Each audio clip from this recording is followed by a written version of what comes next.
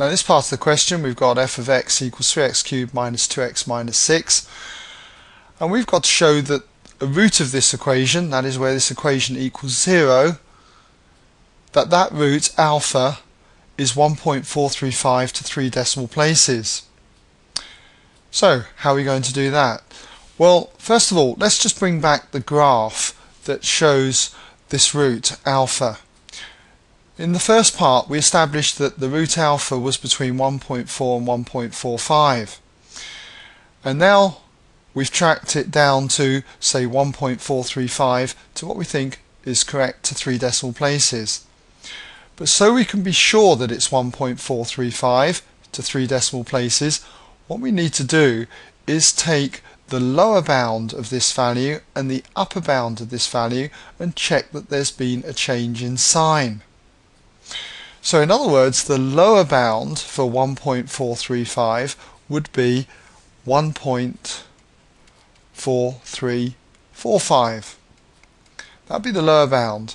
And what we need to do is substitute this value of x into the equation. So we need to do f of this value and see what we get. And if you pass this through your calculator, just substituting x's 1.4345 into this equation, you find that you get a negative value, minus 0.01329. And if we substitute the upper bound, that's f of 1.4355, okay, 1.4355, substitute that in, you find that you get 0.003233. So what this is telling us that indeed that there has been a change in sign. You can see that when we take the value 1.4345, the lower bound, we get a negative value here say.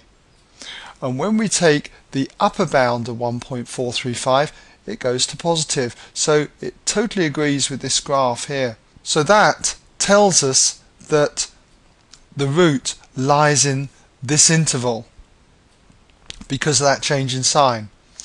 So therefore, what I can say is just to summarize that again, therefore, since the change in sign,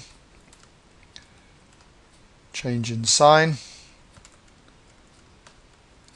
x or alpha, the root, must equal 1.435 to 3 decimal places. And that brings us to the end then of this question.